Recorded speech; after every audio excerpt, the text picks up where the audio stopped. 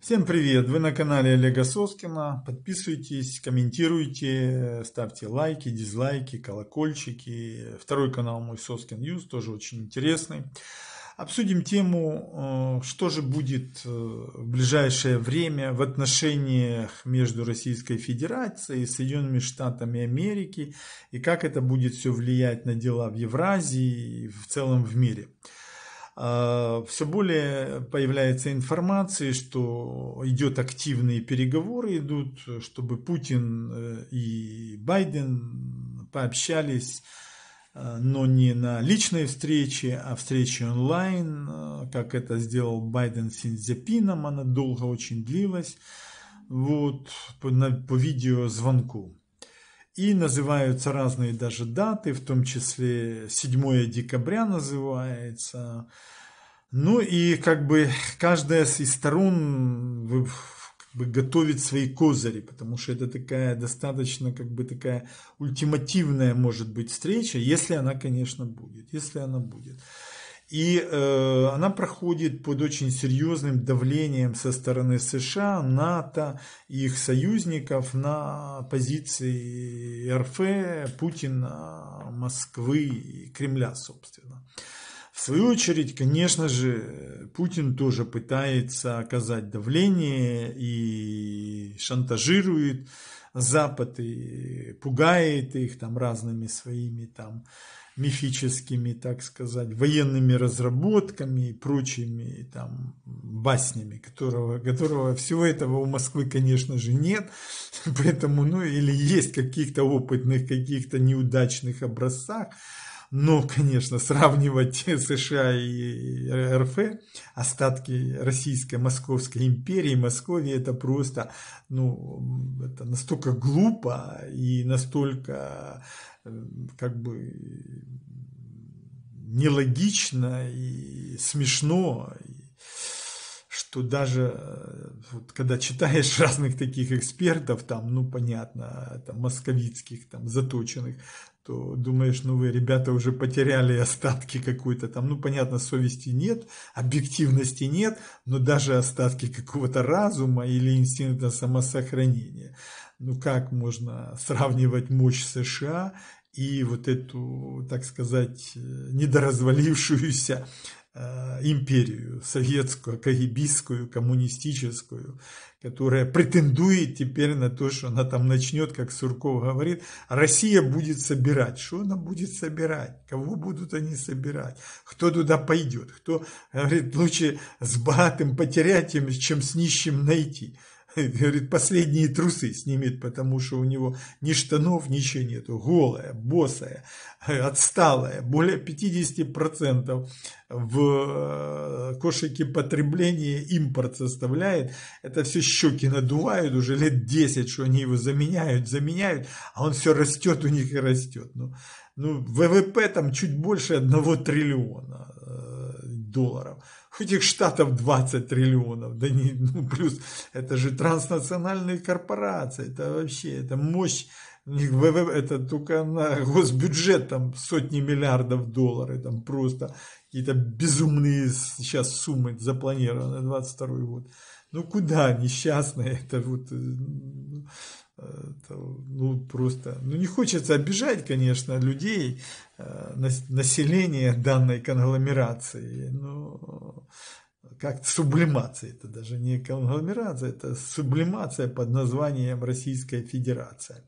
Поэтому, ну, как-то надо себя реально оценивать. Плюс, конечно, проблема же еще и в Путине, что он уже выработался, он уже исчерпан. Он просто исчерпан как лидер. Он, ну, по-любому любого лидера происходит сжигание. Он так долго находится при власти уже, что его группа, команды, люди что у него практически не осталось уже как бы вот этой моторной мощи это объективная реальность, что Путин это уже та ракета, которая уже несется вниз, он уже не идет вверх. И поведение Лукашенко об этом говорит. Вот особенно то, что он надавал там интервью этих Киселеву, там РИА Новости или кому там. Это же просто полная шизофрения. Но самое интересное, что он говорит, что он с Путиным, они братья. То есть, что это получает? Путин плюс Лукашенко, это равняется братья, да? Что Лукашенко брат Путина. То есть, вообще, если вы посмотрите, он везде себя вставит вровень с Путиным, что он практически такой же. То есть, он уже знает, что Путин, э, как бы карьера, звезда его, она идет вниз. Это падающая звезда. А Лукашенко думает, что он еще типа так на небосводе где-то держится там. То есть, что у него в аду, там у хозяина ада, у него еще выше ставки, чем у Путина.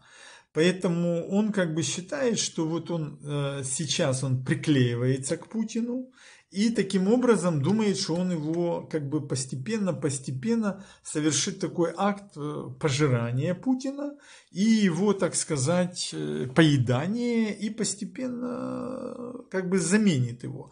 То есть вот он еще здоровый, типа крепкий, он активный, он готов не просто Лукашенко виртуальный, он же, видите, он плюет на эти все там типа пандемии и прочее. Он так говорит, а мы ничего, типа не боимся и вперед. То есть он все время в реальном контакте, а Путин не может уже быть в реальном контакте, это же понятно. То есть у него сократился там это все там и Соловьевы, эти СРВ, эти генералы и так далее, все, кто говорят, по-любому они правы в чем, что его биологический потенциал все время что сокращается. То есть, да, он, и ясно видно, что он очень устал. Он устал интеллектуально, морально, ну, физически, само собой, астрально устал. То есть, он каждые 24 часа в сутки должен вести эти битвы. Ну, это, это даже ну, нет таких людей, которые столько лет и столько времени могут это выдерживать. Поэтому понятно, что Э, путинская эра близится к завершению, к финалу, к финишу. Каким он будет, мы не можем сказать. Когда это состоится, мы тоже не можем. Но вот эта встреча их типа с Байденом, она многие как бы процессы может э, каким-либо образом закрепить, проявить и понять нам, простым, как говорится, смертным.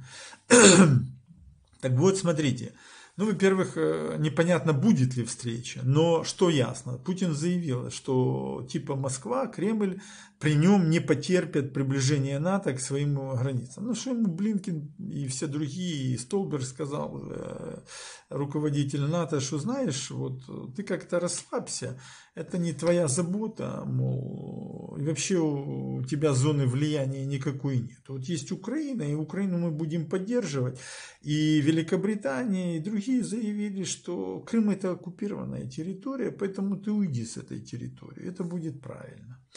То есть абсолютные, как говорится, две полярных точки зрения. Ну, он сказал, что многие в России хотят жить так, как в Украине. То есть четкая сформирована позиция. Она сформирована и она жесткая. Цена на нефть в преддверии встречи стала падать. Бренд там падает там чуть больше 60, тут плюс-минус, но не растет. Самое главное. А нефть не растет, значит, по доходам Москвы и Путина это колоссальный удар.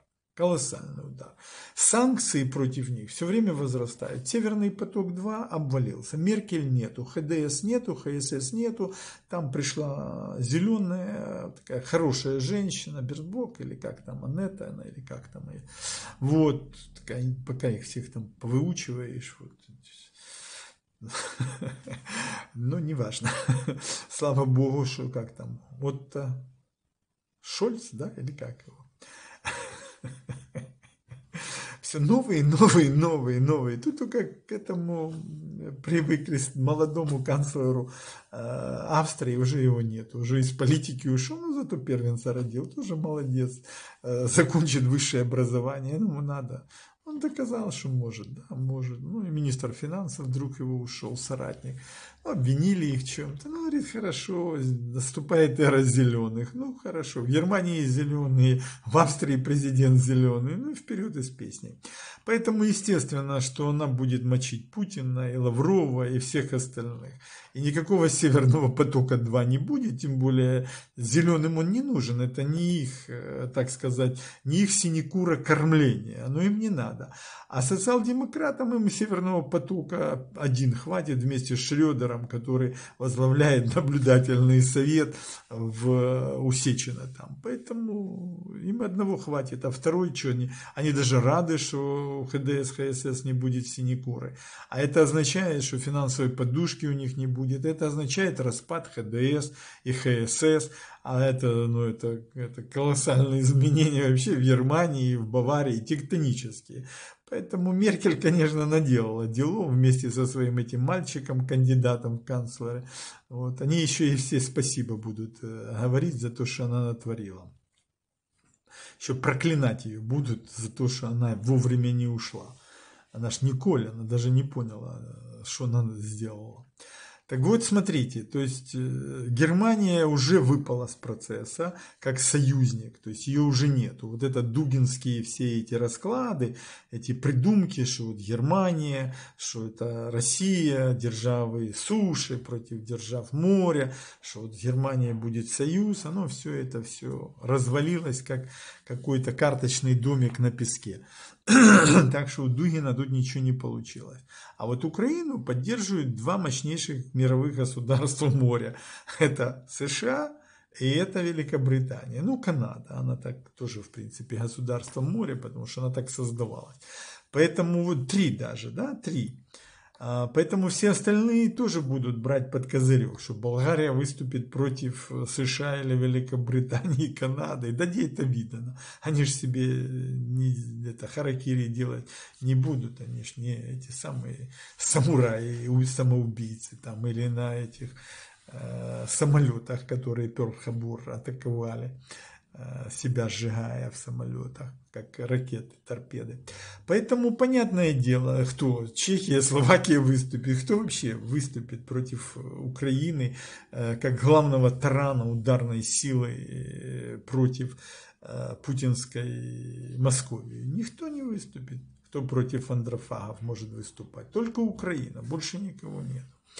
Вот, поэтому вот здесь тоже все, то есть Путина, у Путина все время всякие неудачи. Он там заигрывает. Сейчас приехал к нему один из руководителей вот этой Боснии и Герцеговины, крайне Сербии. Вот, там и Вучич ему приезжал в Сербию, и это, но это все, это лузеры все, это все лузеры, лузеры, лузеры.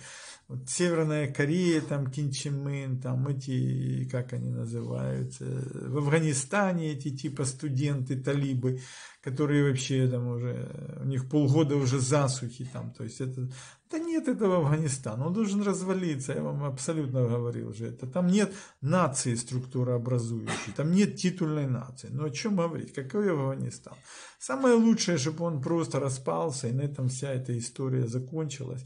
И не будет ни исламской державы, ни талибов, никого. Талибов должны цель поставить, чтобы дезинтегрировать это структурное геополитическое образование, очень агрессивное, очень воинственное, совершенно деструктивное и, скажем, энтропийно, энтропийно некрофильное. Вот и все. Ну что ж тут непонятного? Это самое лучшее, чтобы не было там беженцев сейчас оттуда.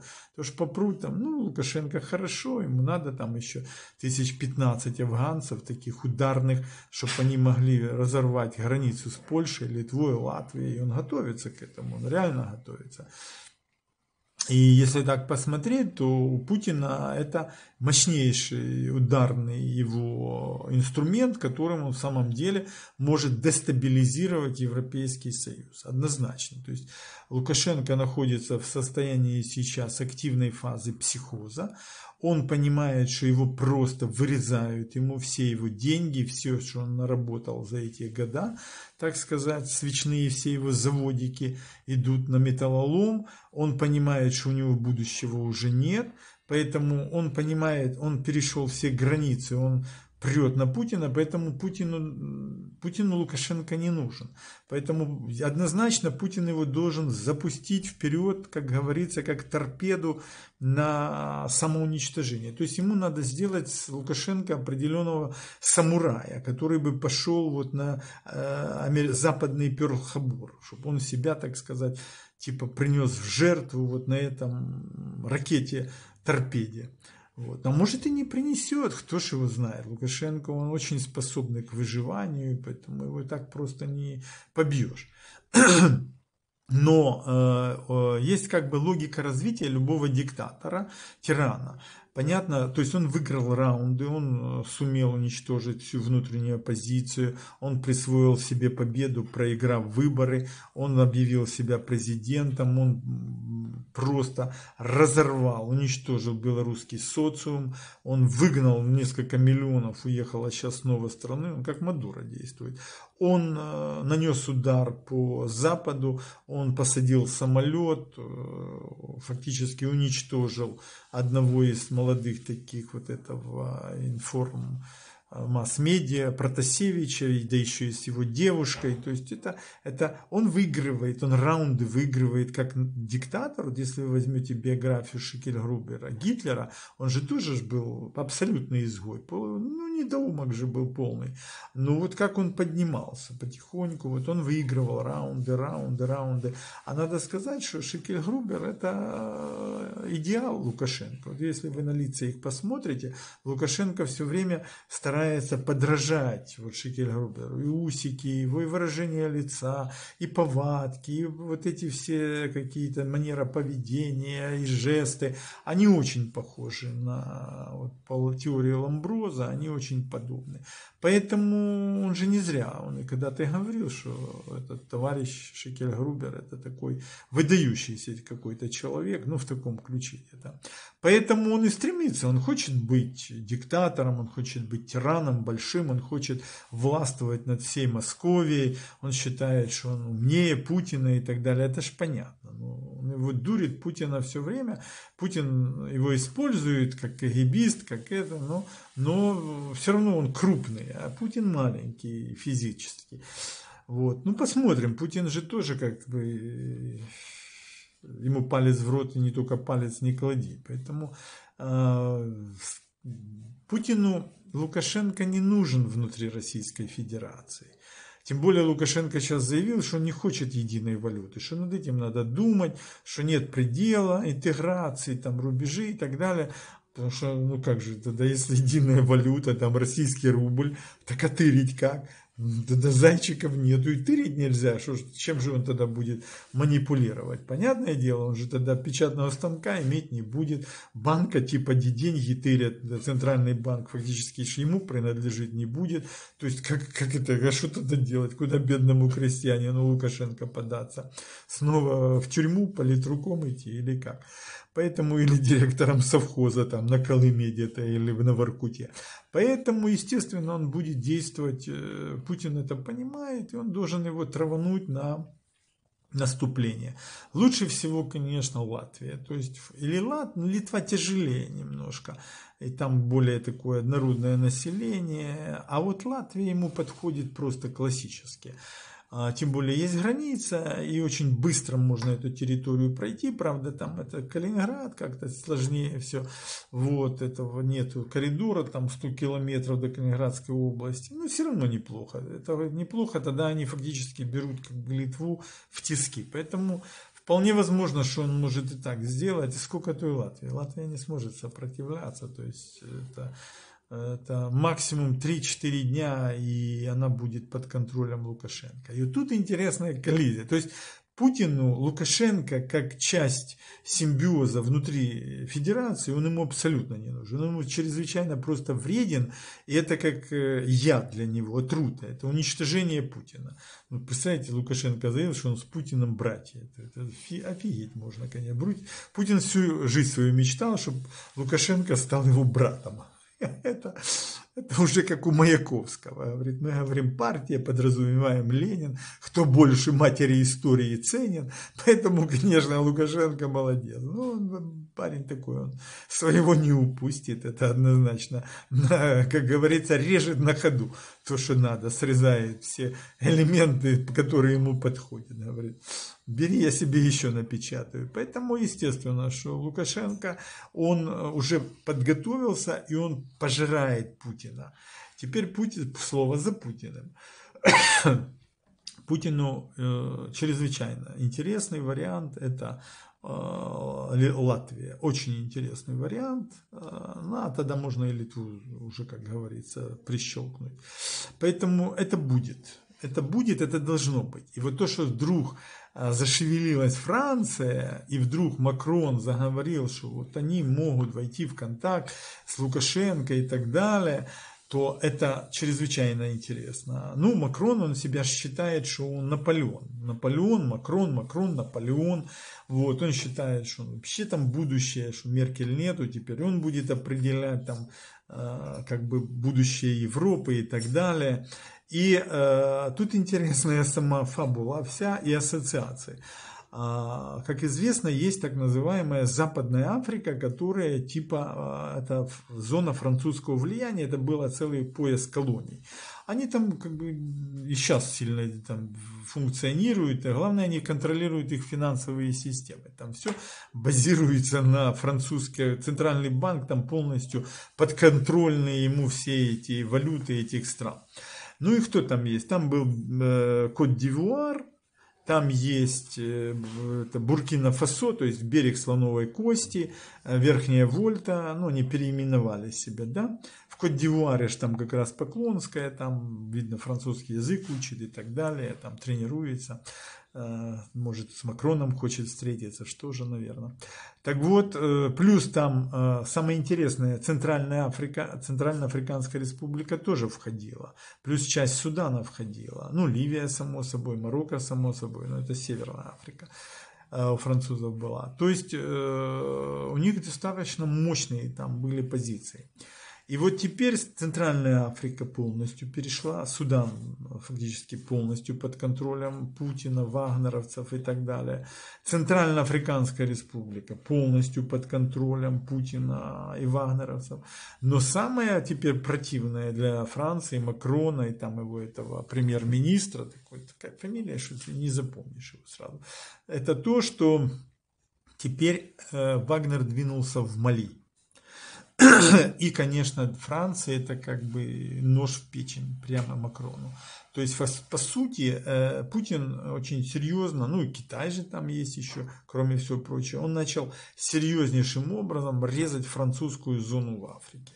Тело, французское тело в Африке, для них, конечно, это просто чрезвычайно неприятно. Я думаю, что Макрон думает, ага, ну раз так, тогда мы выйдем на Беларусь. То есть ты нас в Мали и в Центральной Африке и в Судане, а мы тебя тогда вжарим э, в Беларуси. Почему? Тут, а если вы вспомните, ну кто знает, кто читал, там, ну, что значит вспомнить, ну хоть узнаете, поинтересуетесь, что когда было э, нашествие Наполеона, то есть Наполеон э, наступал на Российскую империю, на Александра там какого, первого, да, то э, там была ситуация, когда Э, Наполеону, его войскам удалось захватить вот этот весь, э, все это направление полностью, это литовское княжество, в него входила и Беларусь. То есть э, его Даву захватил Минск, и Витебск был захвачен, и когда они шли на Смоленск, то они захватили практически всю, вот Вильна был захвачен, и Наполеон был и в Витебске, наверное, может, и в Минске как-то где-то рядом был. Ну, маршал Даву был реально в этом Минске. То есть э, французы, французская империя, э, лидеры Франции – Э, вся их мощь, они э, контролировали Беларусь. То есть это была их территория, они считали, что, ну, Польша, само собой, Литовское княжество, они считали, что это их уже зона, их зона. Как там это все произошло, как им это э, выбито было, ну, там много разных версий есть. Вот, все то, что брешут э, сегодня э, основная часть московских этих писак, что там эти партизаны были, что там такие герои были, это все там в российской армии, это все брехня абсолютная, там была вот эта сакральная часть, Кутузов не просто так был, он ездил к Серафиму Саровскому в пустынь, там, там было много-много вот того, э, той части, с которой, э, кстати, именно благодаря потом и э, этот самый, как его, Джугашвили Сталин победил, там тоже была эта часть. Если бы не она, то, конечно, не было бы ни тогда никакой победы, ни в 1812 году, ни в 1613 году никаких бы Романовых не было, и не было бы в 1941-45 годах той победы, потому что там была просто как бы вот эта невидимая сила, которая встала на сторону этих лидеров. И они благодаря этому, ну, то, ну, как бы те люди, которые меня понимают, они меня поймут, а это шариком, швондером, такая им разница. Оно им, тех, кто на уровне биологического сознания там и прочего живет, ну что им пояснять, им это и не надо знать. Поэтому э, здесь ситуация тоже очень, очень сложная. И то, что Макрон выдвинулся со своим премьером вдруг на Беларусь, это такое идет мировое э, геополитическое состязание. То есть это фактически заход, э, попытка зайти французской элиты и ее, так сказать, вот этой закулисы на территорию контроль, геополитическую контролируют сегодня Путиным, Москвой, Кремлем. И в отместку, конечно, за западную французскую Африку. Поэтому ну, тут могут быть очень серьезные процессы. И э, как бы тут э, должны быть новые какие-то столкновения. И мы должны за этим всем наблюдать. Я думаю, мы их все с вами увидим. Ну вот я бы вам такую какую-то предложил бы сейчас, вот такой бы какой-то микс, такие какие-то ассоциации, сценарии, линии развития. И последнее, что хочу сказать, я думаю, будет это тоже интересным, и порассуждаем насчет этого. То есть, смотрите, если будет эта э, встреча онлайн по телевизору, фактически Байден уже готов поставить ультиматум Путину. Ему будет как бы предложено следующее. А, то есть, в принципе, э, ему предложат стать Горбачевым.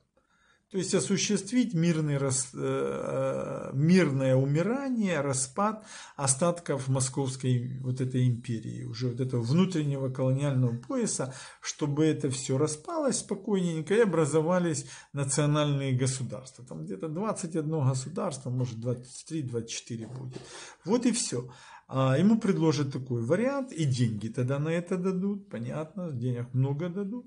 Или он э, будет идти по пути типа Сталина, Джугашвили, вот, ну, или вот это брежневском варианте каком-то или хрущевском. Ну, то есть он будет пытаться сохранить вот эту империю и усилить, увеличить ее. Тогда фактически начинается холодная война, острие против острия. Украина это мощнейший таран, и она получает максимальное оружие. Она освобождает Луганско-Донецкий анклав, она начинает Крым, освобождение Крымского полуострова, его степной части, э, Путин не удержит ее, это сто процентов. Вот. И переход, уже украинская армия зайдет в Крым и выйдет на Черноморское побережье со всеми с этими последствиями. Вот. Великобритания, США дадут э, соответствующее летальное оружие, ракеты, в том числе средней дальности. Ну и, естественно, удушение, свержение, уничтожение этого психодиктатора и так далее. Вот. Франция хочет играть Макрон какую-то свою роль с этим своим Жаном, как-то Кастаньес, или как там его фамилия, Шато, так сказать, саксонцем этим. Вот, не знаю, что у него из этого получится, из этого рая не выйдет ничего, как говорится, да. То есть он не хочет зайти э, в участников вот этого Будапештского договора, гаранта, где подпись французов потом тоже стояла, они присоединились к этим гарантам национальной безопасности, суверенитета и целостности Украины. Ребята, выполняйте свои гарантии, что же вы базлали, базлали, вот, а теперь не хотите выполнять, это неправильно, Макрон, абсолютно неправильно. Поэтому как бы Франции там сложная ситуация. Скорее всего, Макрона и не выберут на следующий срок, потому что он ну, очень слабенький. Не знаем, что там будет. При Деголе у них такой был кризис, когда была четвертая республика. Деголь их тогда спас. Фактически Франция должна была тогда распасться на отдельные такие как бы суб э, геополитические структуры.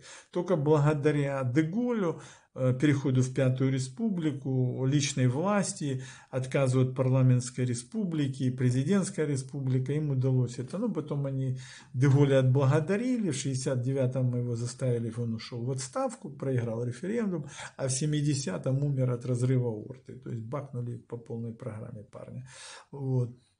Хаяли потом сказали после смерти, не, он герой, он супергерой. А сначала его просто, э, так сказать, э, на частицы разбили, уничтожили. Потом говорят, нет, такой герой, ну, там, что просто вообще супергерой. Там аэропорты назвали и все остальное, Шарль де Голля и так далее, и так далее. А, потом, а при жизни уже в последний момент, там 68-й, 9 год, э, ноги об него вытирали. Вот. Ну, Макрон даже этого не достигнет, потому что этот пример, что у него был предыдущий там какой-то, их даже фамилии там не запомнишь. Поэтому я думаю, тем более он на сохранении сейчас, выйдет он с этого сохранения, не выйдет, неизвестно. Поэтому я думаю, что вот такие события, они как бы очень-очень становятся такими объемными, решительными и э, все более нагнетается ситуация. Нагнетается ситуация, и Украине надо жестко стоять на своих позициях, Зеленскому. И, ну, премьера нету. Ну, Шмигаль это не премьер. Ну, ну это позорище, конечно. Ну, Ермака назначаю уже как-то. Ну, кого-то назначьте, чтобы он уже как-то отвечал за базар, как-то это все. Бюджет нужен был бездефицитный. Ну, в экономике, конечно, они полные апельсины. Ну, что сделаешь? Это еще этот первый премьер, там, которого они убрали, как там, Гончарук или как его про это говорил. Это же реальность. Никуда не денешься, ничего с той поры не изменилось. Но вместе с тем Зеленский как бы э, чутье у него есть, и он идет по мейнстриму. Поэтому как бы у него это все. Плюс ему хорошие у него, это даже не советчики, а это как бы кураторы, которые его ведут. Ну, тем более МИ-6 и ЦРУ, там и другие, АНБ, это же серьезные люди сидят, не дураки, что там, понятное дело. Тут еще и Франция, так сказать, вдруг возбудилась, их там соседи Женераль, или как там они всякие, еще сейчас подключатся немцы к этому, ну, короче, Путину мало не покажется.